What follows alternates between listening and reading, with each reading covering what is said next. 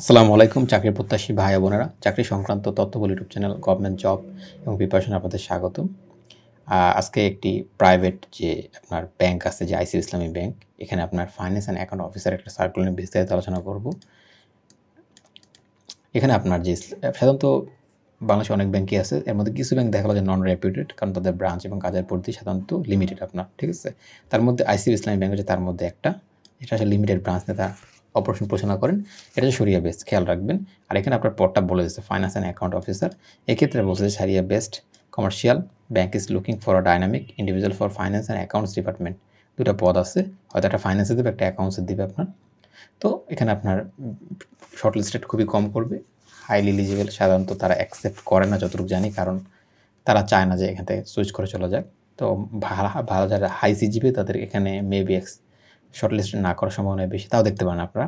এখানে যে জব রেসপন্সিবিলিটির কথা বলতেছে যে quarterly financial projection model report এখানে আপনি এইগুলো অবশ্যই জেনে নিতে পারবেন।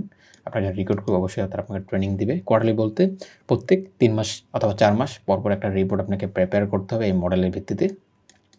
ওকে এগুলো নিয়ে যদি কোনো ইচ্ছা থাকে এটা আপনি গুগল সার্চ দেখতে পারেন। পজিশন বলতে আইডিয়া করা ধারণা করা অথবা কোনোভাবে যে ইনফরমেশনগুলো আছে সেটার উপর ভিত্তি করে একটা মডেল তৈরি করা বা ডেটাবেস তৈরি করা।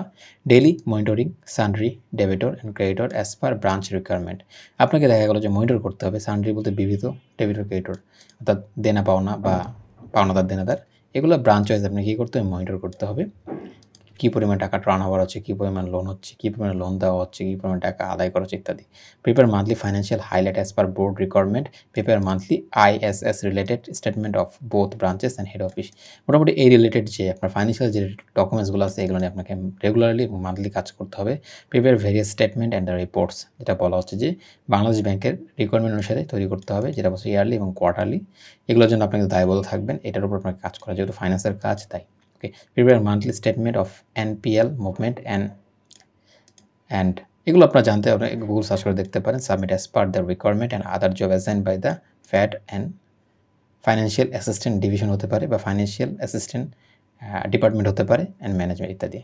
যেটা বললাম যে এই রিলেটেড কাজ করতে হয় ফুল টাইম পারমানেন্ট অ্যাকচুয়ালি আপনারা অবশ্যই, যেহেতু ব্রাঞ্চ কম, ঢাকাতে পোস্টিং হওয়ার সম্ভাবনা অনেক বেশি, তারা masters of business administration in finance and accounting শুধু অ্যাকাউন্টিং আর ফাইন্যান্স থেকে মাস্টার্স চাচ্ছে তার স্যালারি অনেক ভালো হবে, এটা কোনো সন্দেহ নেই।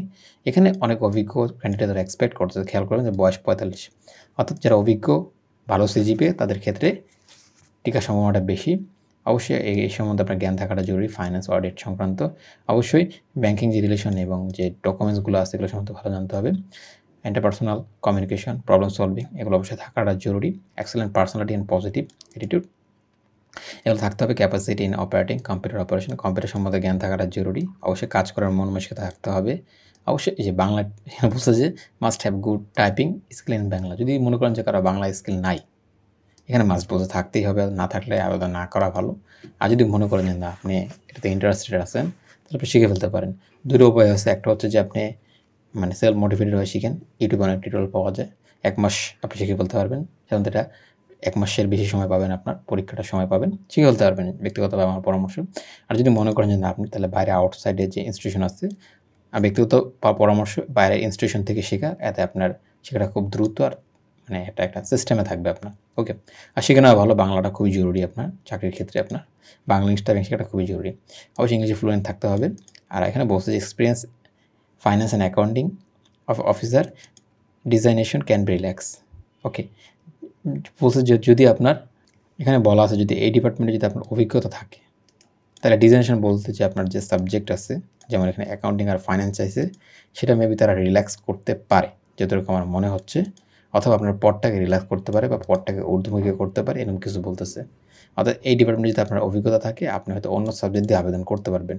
আমার যেটা মনে হচ্ছে অ্যাকচুয়ালি লোকেশন ঢাকা, ঢাকায় পোস্টিং হবে স্যালারি অনেক হাই হবে, কোনো সন্দেহ নেই আপনার। ফিফটির কাছাকাছি থাকতে পারে। এক্ষেত্রে আপনার সব ধরনের সুবিধা পাবেন, যেটা এখানে একটা সাধারণত প্রাইভেট ব্যাংক অথবা যে ভালো ভালো পজিশনগুলো দিয়ে থাকে।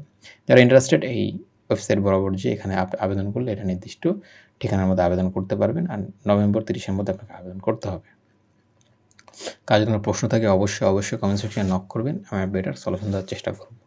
সবাই ভালো থাকবেন, আসসালামু আলাইকুম।